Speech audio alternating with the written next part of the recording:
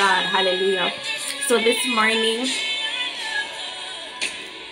I am going to be sharing with you on the topic uh, The World Needs You. The world needs you. I want you to say that. Repeat after me. The world needs me. Put that in the chat. The world needs me. And so while I was thinking this morning, what do I share? And that just came to my spirit. The world needs you. Praise God. Let's open up in prayer. Father, we thank you for a beautiful day. We thank you for another day on the plug. Mighty God, we know that we could not be here had it not been for you. Had it not been for your grace and your protection, Lord. That there is a reason why we are alive this morning. And so, Father, we come, Lord God, in divine alignment with that reason. Mighty God, we humble ourselves, Lord God, before you this morning. And we ask you, Lord, to lead us by your spirit. We ask you to have your way this morning, God. I pray that you will anoint this word that will come forth, Lord God. And I pray, mighty God, that it will touch the souls of your people and it will activate us into our purpose and into our calling, mighty God. I pray, Lord God, that lives will be transformed from this day onward in Jesus' name. Amen and amen. Amen. I promise you, people of God, go and listen to this song, I Am Enough by Victoria Tunde. Alright, you will absolutely love it because sometimes we do not feel as if we are enough, but you are enough, and the world needs you. You know, we in this time might struggle with what is called the what I'm calling it the insignificance complex, right? We feel like we are insignificant. We feel like we are not enough. We feel like, you know, there is really no place for us in this world. And we sit and we, we just sit there comparing ourselves to everyone around us.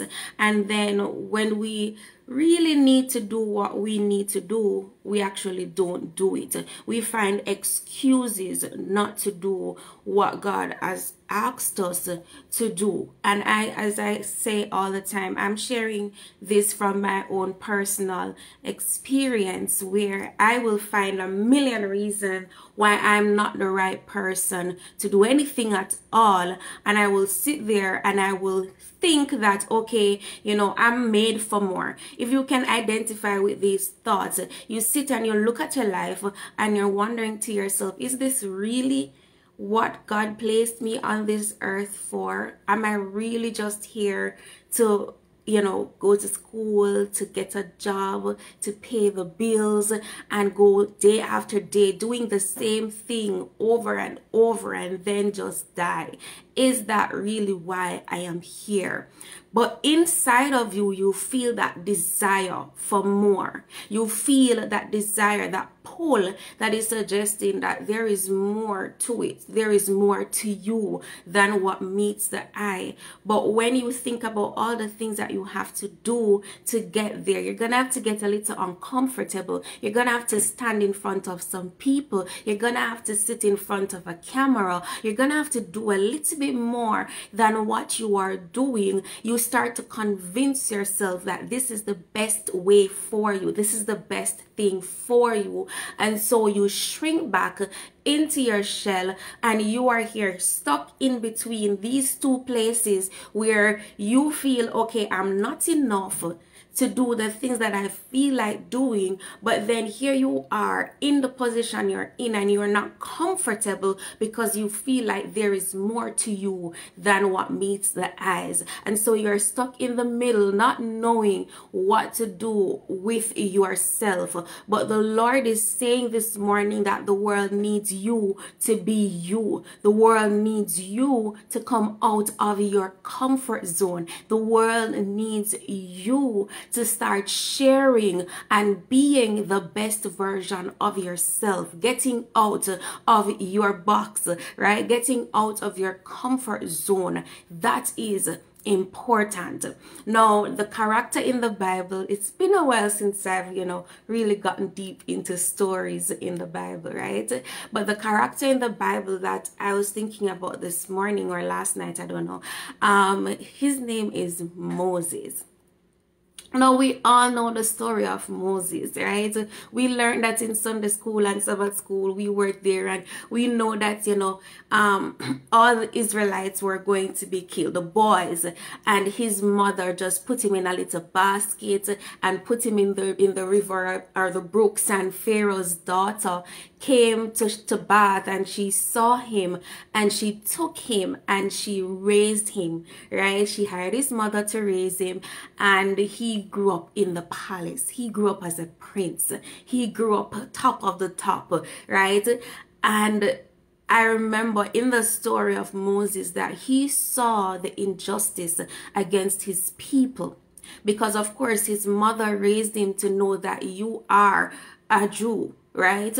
And so he saw the injustice against his people. And even though he had a better life, and this is for someone, even though he had a better life, there were certain privileges that he had in the position that he was in. He was not comfortable knowing that the people around him were not in a similar position. He was not comfortable knowing that the people around him were living a life of torment, a life of pain, and a life of hurt.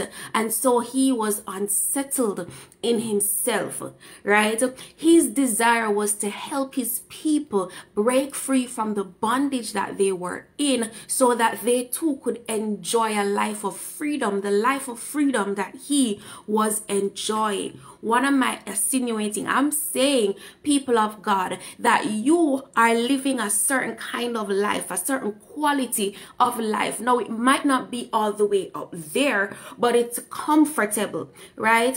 And there are people around you who are not yet at the level that you are. And a little part of you, yes, you are happy that you got out of their situation, but a part of you is feeling like I need to do more for these people. I need to show Sister Felicia that this is what I did to get from where she is to where I am. I feel like I am called to pull her to another level. I feel like I'm called to pull Sister Samantha to another level because I know how to get from where she is to where I am.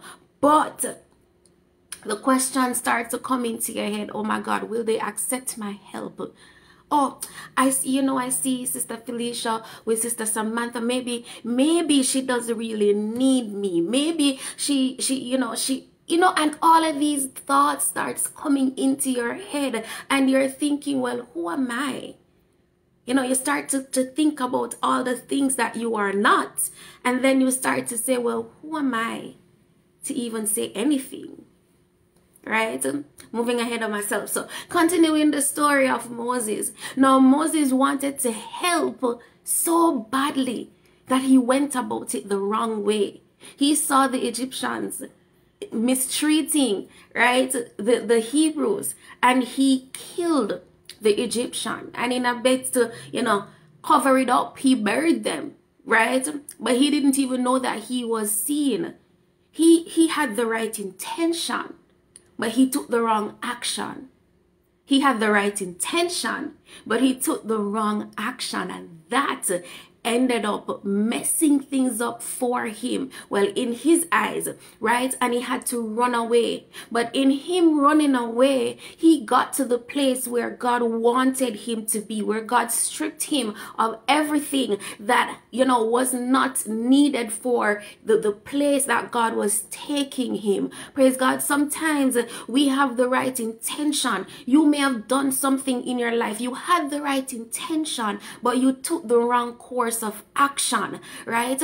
And you tried to cover it up. You tried to fix it. You tried to mend it. But it seemed like instead of mending it, you made it a lot worse. And when you thought no one saw what you did, you hear people chattering about what you did. That's what happened when Moses saw the two um, Hebrew people fighting and he went there telling them, hey, no need to fight. They turned to him and they said, oh, are you going to kill us the way you killed that Egyptian? Right?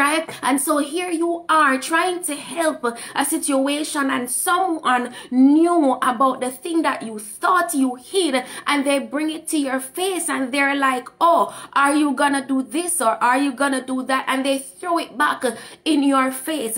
And so you pull away, you get into your shell, you get into your circle. And that's probably why you are here in this place of comfort. But in Moses' heart, he knew that he was called for something greater, but he ran away. He ran away for his dear life. He ran away because he just could not face it anymore. He just didn't want to deal with it anymore. Many of us are in that place, praise God, where we have run away from the purpose that we feel in our hearts, from the call that we feel, the pull that we feel because of our track record. Praise God. When we look and see the things that we have done, the things that we have done in secret, the things that we have done that people know about, we think that, oh, I am no longer qualified to do anything for God. I'm no longer qualified to help anyone because they already know, hallelujah, what I have done.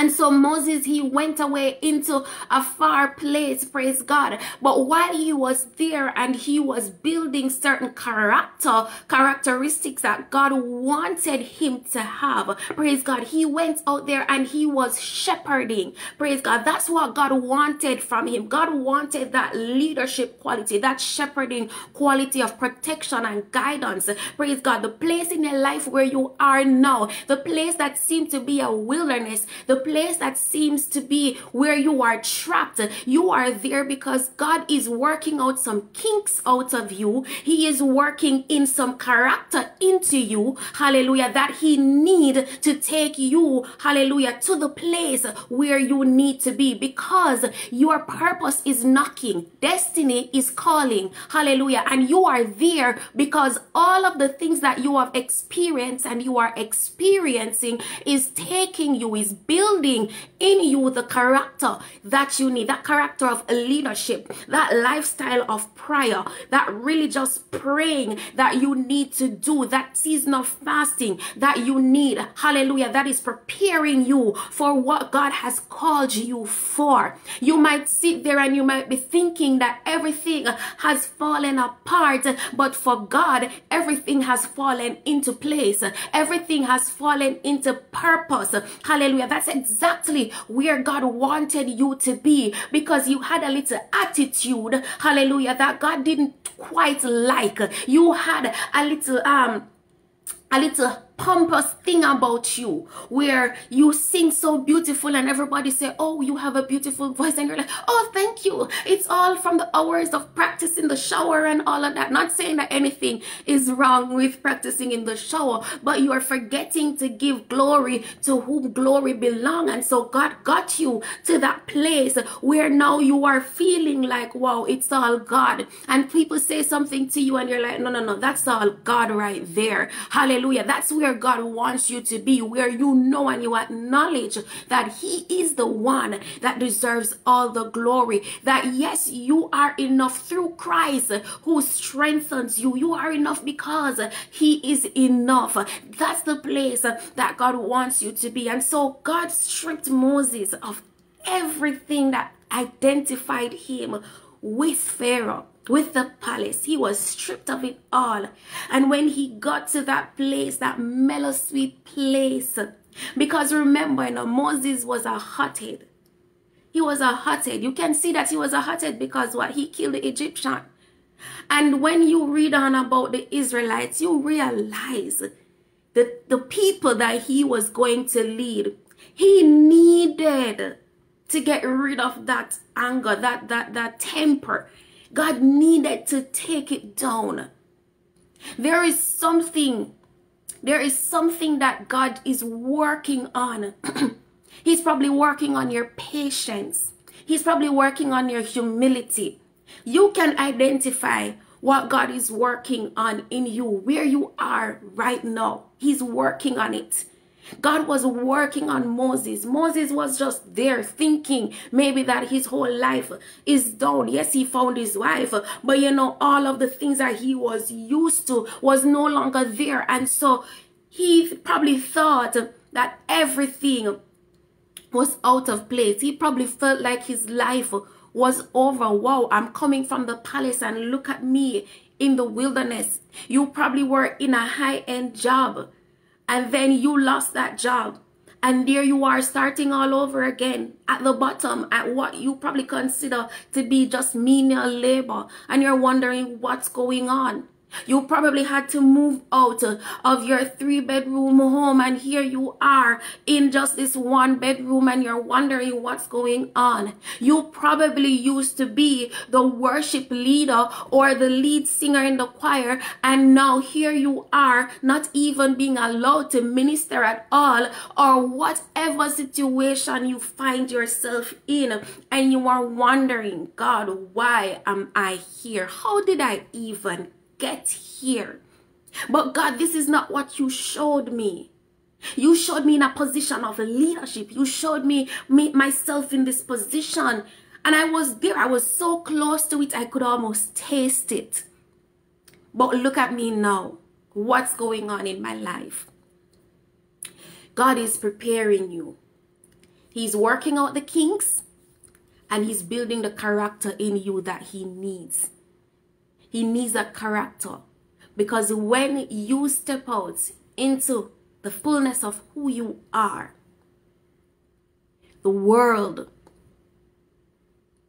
the world is going to receive you. And not everybody in the world just not, when i say the world needs you let me just clarify. Because there are people who you are not called to and those people are gonna it's like you are going to be their assignment to assassinate your character and and to and to just make your life hard and just make your life miserable those are not the people that I'm talking about. I'm talking about the people who will say to you, boy, you know, Sister Cynthia, like I really needed you. I really needed to hear what you had to say. Sis, I'm so grateful for you. I thank God every day for you. Sister Olivia, I thank God every day for you. That word of encouragement that you gave me, I needed to hear that. Those people are waiting for you. They're just waiting to hear what you have to say. They're waiting to hear your testimony. They're waiting to hear that word that God placed in your heart. They're waiting for you to become who God has called you to be. The world needs you. And so when the fullness of time came and God decided, okay, Moses is ready. He called Moses.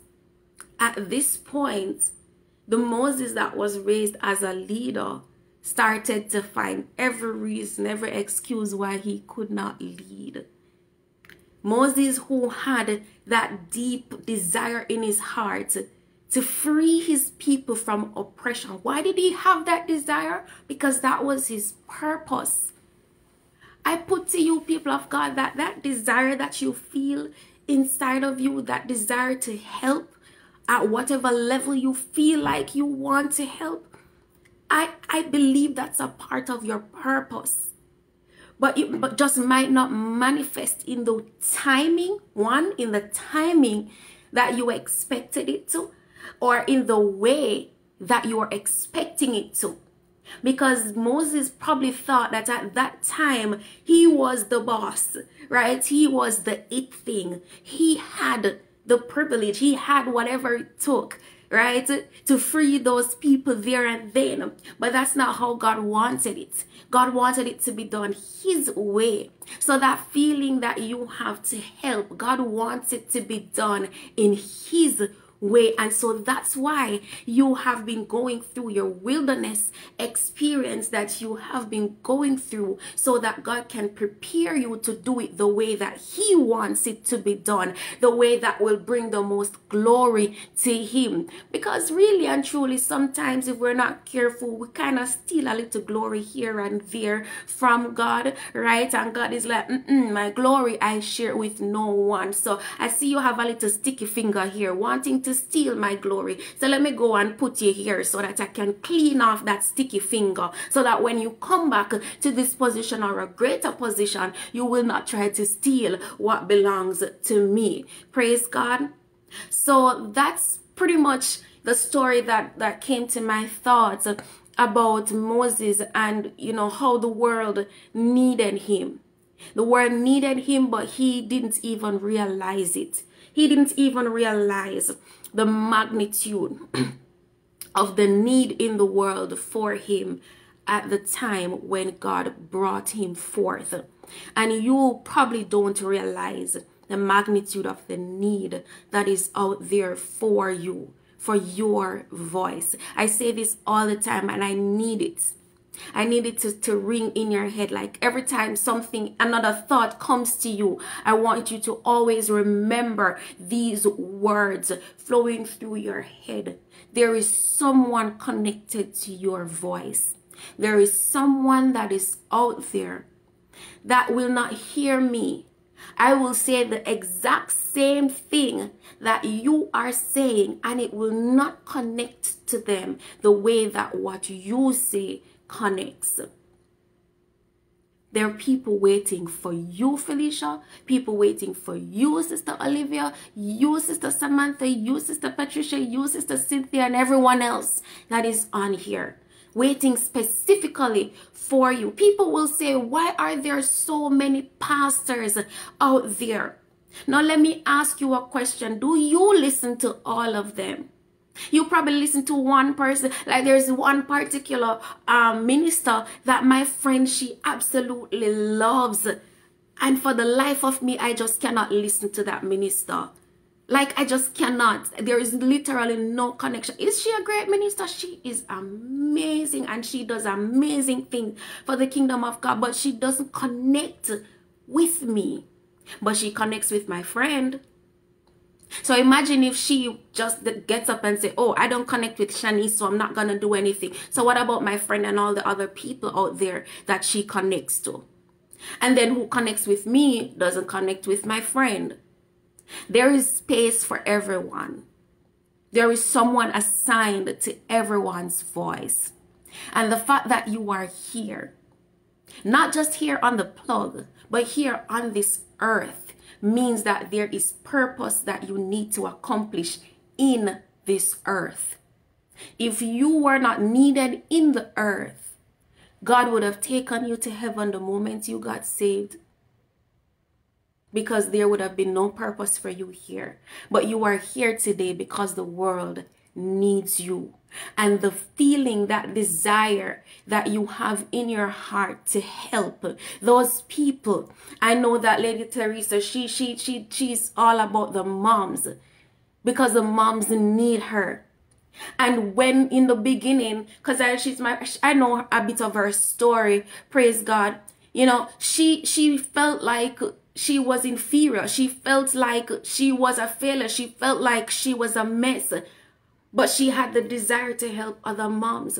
And so God pruned her and prepared her. And now, guess what? She now has the ministry ministering to moms. Those moms that she ministered to, they need to hear her voice. They needed her to become who God wanted her to be. It's all in the becoming of who God wants you to be. There are others of you on here with similar story that I do not know, but people need to know People need to know, and you have that desire because that's where God is taking you, because those are the people that God wants you to free. Moses had the desire to free the Israelites, and it may have taken him 40 years beyond what he thought. But that desire was a God's desire. God just needed to prepare him. The desire that you have to help to build the kingdom of God. It's a God's desire. But He's just preparing you. He's preparing you to bring forth that purpose, to accomplish that desire that He placed in your heart. So never forget that the world needs you, the voices, the people who have been assigned to you. They need you to become. They need you to walk in your identity. You are enough. Christ in you makes you enough. Hallelujah. I just thank God for this word this morning, for this great reminder that we are enough because everything in society is trying to tell us otherwise. But the, the good thing, and you know, one thing that the Holy Spirit taught me is that we live by the word of God. We live by the truth of God. We don't live by how we feel. You feel like you're not enough? Well, too bad. That's not what you live by. You live by the word of God. I remember I was in a situation and I and I and I said, you know, Lord, but I don't feel like this is working. And the Lord said, um, you don't live by feelings. You live by my word. And if my word says this is what it is, then whether you feel it or not, this is what it is. And it will manifest as what it is in due season. But for now, you believe my word. Praise God. And so we are not what the world tells us that we are. We are God tell us that we are. Okay? Whether you feel like it or not, it's the word of God. And his word is truth. His word is the final authority. And so your feeling has to get in line. And so if you, I'm sharing this morning with you because I have similar struggles. You are enough. You are enough. And the world needs you. Every single one of you watching live who will catch the replay, who will watch this on any other platform that it ends up on. You are enough and the world needs you to do you. I heard Lisa Nichols says, if you don't do you, then you will never be done. No one else will do you. No one else will be you. If you don't be you, then you will never be. If you don't do you, then you will never be done. Amen. Amen. Praise God. God bless you. God bless you.